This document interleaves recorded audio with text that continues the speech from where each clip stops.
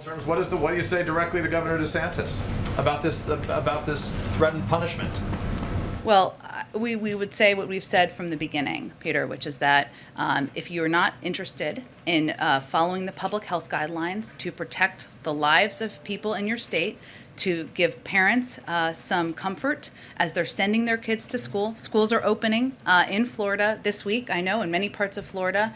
Then get out of the way and let uh, public officials, let local officials do their job to keep students safe. Um, this is serious, and we're talking about people's lives. And we know, based on public health guidelines, that even though kids under a certain age are not yet eligible, uh, masks can have a, a huge impact.